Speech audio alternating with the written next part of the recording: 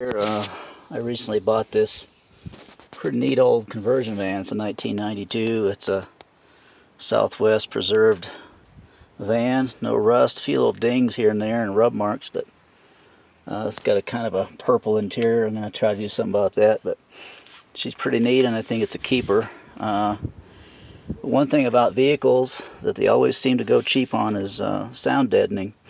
So I'm going to show you what two pieces of this stuff uh, did to the door here. I've left one door undone and the other door has been treated.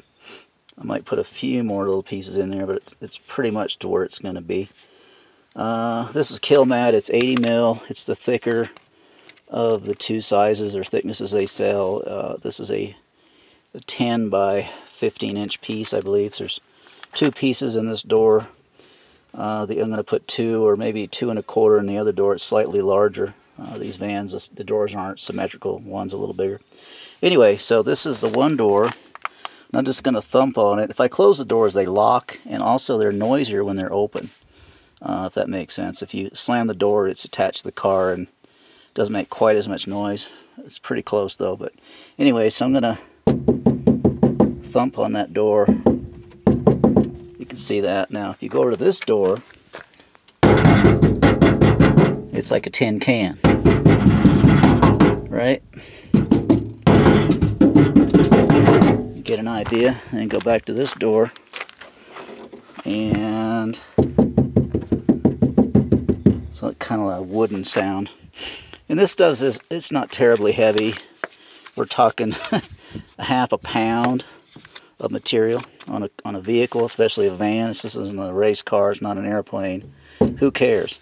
Uh, noise really gets to me. I don't know. I think it gets a lot of people. They just don't realize it. If you sit in a car for eight hours driving across country and uh, the difference between a quiet car and a loud one is a big deal. Uh, I'm a pilot. Um, I, I spent big money on noise canceling headphones just for that very reason because man after five hours sitting in the seat going into a strange airport uh, if something comes up that you need 100% of your attention you don't want to be fatigued and dreary and punch drunk from noise uh, and all that. You want to be on your A game. So anyway uh, that's my spiel on this stuff. It's for 50 bucks you can get a big box of this stuff enough to do probably two of these vans very thoroughly uh, it's well worth it. So anyway, if, if one of you people are out there tearing your van apart, go ahead and go this extra step because uh, I'll go ahead and close the door. I'll have to unlock it. These darn things automatically lock.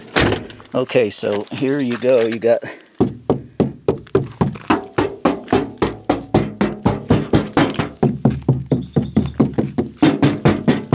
There you go. You can tell the difference. Pretty obvious.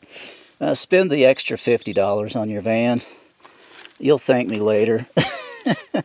uh, I've got a bus that I've done, and uh, i am approaching the 9 decibel level of noise reduction, which is just dramatic.